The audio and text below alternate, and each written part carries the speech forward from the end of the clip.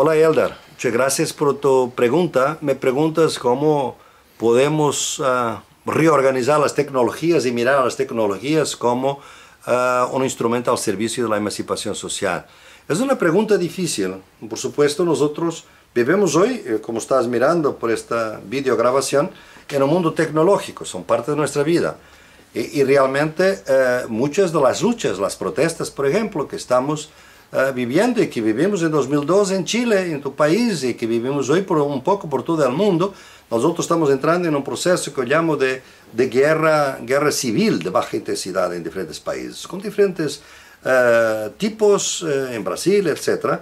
Todas estas, estas protestas tienen una componente tecnológica porque son las redes sociales, son las tecnologías de información, son el Facebook, son el Twitter, que tienen un papel muy importante y por eso muchos países ya están por ahora interesados en, en controlar, en reglamentar no quieren regular el capital financiero, pero quieren regular la Internet y de alguna manera controlarla. De alguna manera ya lo hacen. Uh, sabemos hoy que por veces los países tienen un poder de controlar la comunicación social por las redes sociales. Y por otro lado sabemos que muchas de ellas están siendo utilizadas, y esto es lo que me preguntas, o sea, para mí estas redes sociales, las tecnologías en general, como esta que ahora estoy utilizando, uh, ella puede ser utilizada obviamente eh, para un fin de emancipación social, por ejemplo, por organizar las protestas, por ejemplo. Pero por otro lado sabemos que las redes sociales son utilizadas por National Security Agency, por la Agencia de Seguridad de los Estados Unidos, para hacer espionaje, para saber lo que tú vives, con quién vives, cuáles son tus gustos, y, y naturalmente para usar tanto por lo que llamo la guerra, contra el terrorismo como para promover comercialmente tus gustos y promover productos que tú puedes consumir. Por eso, hay una, una primera respuesta a tu pregunta, es que realmente hay tecnologías que todo depende. Estas de comunicación, por supuesto, pueden tener un, un doble hilo, o sea, puede, doble filo, pueden ser para emancipación eh, en, estos casos, pero también tiene el otro lado. Obviamente debemos estar muy conscientes y por eso yo pienso que debemos saber, por ejemplo, usar el Facebook. Tú nunca debes en el Facebook poner tu, vida íntima y las cosas que tú piensas que son más importantes porque sabes que el Big Brother está uh, colectando todo y, y, y, te puede mañana poder utilizar eso en contra de los objetivos políticos que tienes y otros.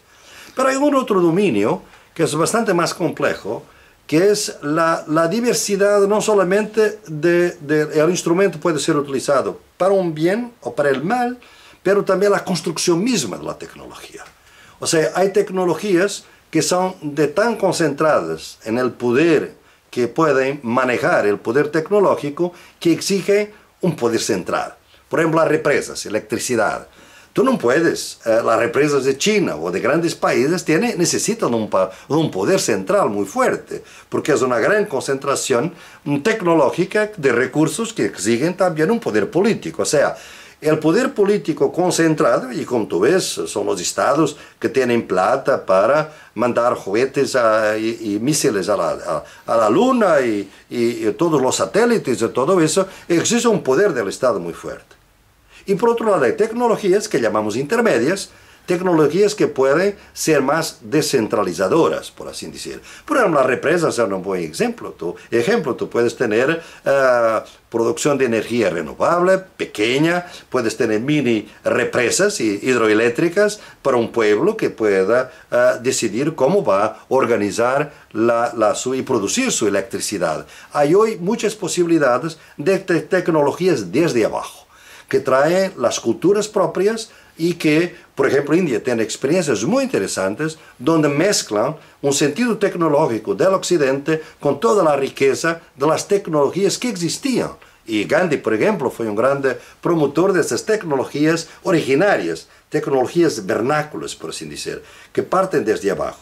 Yo pienso que hoy hay algunos intentos interesantes de intentar los híbridos tecnológicos, como llamamos, donde la tecnología más, digamos, eurocéntrica o de alguna manera de, de pensamiento científico eh, mezclada con tecnologías populares. Y por eso hoy te, hay todo un campo de tecnología popular donde realmente debemos reclamar que realmente el concepto tecnológico es lo primero que tendremos que contestar. Un campesino que conoce, muy bien uh, o tempo necessário e adequado para sembrar, que sabe como deve tratar suas plantas, que, sabe como deve tratar sua terra e o tipo de adubação que vai utilizar e as semillas, etc. Não é um técnico. Claro que é um técnico. É um técnico que tem um conhecimento próprio. Mas nós outros, como fomos colonizados, com a tecnologia, digamos, do conhecimento científico, não, não pensamos que esse é um técnico, e por isso chamamos que é uma pessoa leiga, é um popular, eh, que não tem conhecimento. Não, a tecnologia é uma coisa, o conhecimento é outro. Tecnologia vinculada ao conhecimento científico, por supuesto, existe e há que analisá-la. Mas a tecnologia que está conectada com outros tipos de conhecimento. E esses também deveriam ser considerados tecnológicos. Por isso te digo, para perguntar, para contestar a tu pergunta, eu devia volver ao início e dizer: o que é tecnologia? De onde vem? Solamente o conhecimento científico pode produzir tecnologia ou há outras tecnologias populares e não científicas? E como não valorá-las em nossa sociedade? Eu penso que tudo tem a ver com um modelo político, social e cultural que pode ser mais inclusivo, inclusivo e mais emancipatório, ou mais repressivo e mais excluyente. E a tecnologia hoje está a ser utilizada, e muitas vezes, sobretudo a tecnologia de grande concentração, está a ser utilizada exatamente para se estar mais adequada a grandes proyectos políticos autoritarios y no proyectos políticos de, de, descentralización de la vida y de, democracia, de democratización de la vida en general y de la vida política y de la vida cultural, social y económica.